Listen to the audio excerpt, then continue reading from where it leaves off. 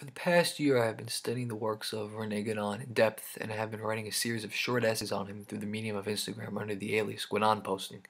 With the advent of the creation of this channel and the seemingly high demand of lack of in-depth videos on Guénon, it seemed to me to be a good idea to convert some of my essays into videos and expand the content here.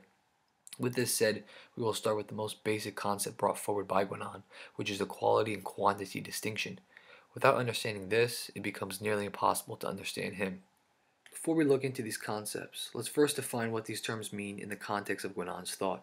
Quantity is defined as a principle by which the value of things are measured by the amount they produce and the effectiveness they produce, and is also the realm of existence that is inferior and immediately apparent to us, such as matter.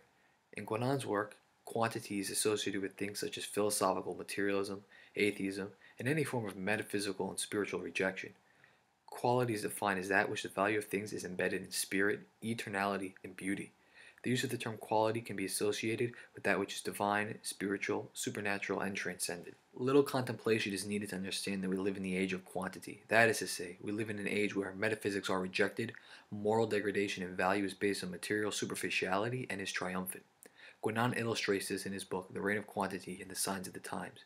It should also be remarked that for Guénon, much like Evola, that it isn't only degradation in the sense of complete wiping away of spirituality and metaphysics that can be considered a form of quantitative reign, but also certain types of spirituality itself. The most obvious case would be that of Guénon's disdain for the path that Western spirituality and metaphysics took in the latter centuries following the Middle Ages. Guénon wasn't satisfied with the Western approach to spirituality because he considered it degenerate and intellectually quantitative. This is reflected in his attempt to use Eastern spirituality to supplement and revive Catholic doctrine. He also saw the propping up of counter traditions as a sign of quantitative reign. It may seem counterintuitive to imagine that within the reign of quantity, schools of thought that accept the notion of the transcendent arise, but the erection of these quote unquote traditions is part of the quantitative cycle which is malefic and wishes to usurp the divine. One final aspect must be understood in closing our discussion on the distinction between quality and quantity, which is their relationship.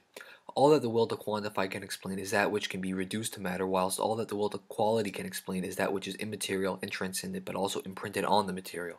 For example, let's take something such as the notion of being, and in particular, let's look at the ontological category known as matter. Matter in the quantitative sense is blank and void of all distinction and character. Distinction and character are proper to quality. This is why, when we speak of the nature or essence of an object, we also say that we are speaking of its qualities. Now, it is important to note here that some may read Guénon as a rejection of the quantitative realm, whereas he does believe in this realm, but it is the case that this realm of being is not ultimate in any sense. This realm is subordinate to the higher realm of quality, which imprints itself upon the realm of quantity. This is in many ways similar to Plato's notion of the realm of forms, which act as cause and precondition for the realm of matter which is subordinate to it.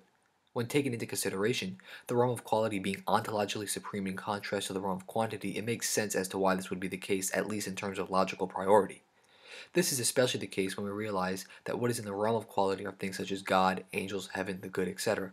Ultimately, the reign of quantity refers not to the literal removal of all supernatural and divine things from being, rather, this notion of the reign of quantity is in many ways like Nietzsche's notion of the death of God.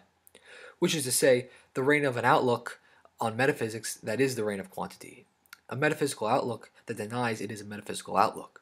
The reign of quantity is ultimately an outlook which comes forth in the presence of a particular cosmic cycle which is its cause, the Kali Yuga to be exact.